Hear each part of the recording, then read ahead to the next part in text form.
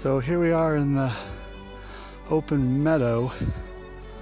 There's the famous apple tree. The spring is located just down the hill. So we're gonna go see if we can find any remnants of the cabin. It's William Henry Thomas's homestead. This is the spring right here. The cabin, the apple tree's right up there. But this is where the spring starts. Comes right out of the ground right here.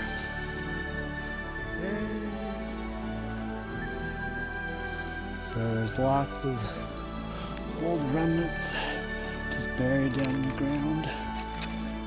Tin cans and things.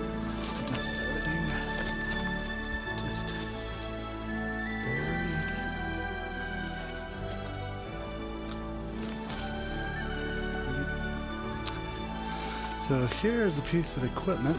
Somebody mentioned something about equipment. It's hard to see, but you can see it. There we go. Um,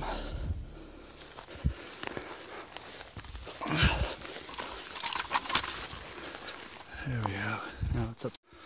And back down by the spring. And I found this. Looks like a big uh, bin, wash bin. There's a lot of uh, animal tracks around here just because of the the spring. Um,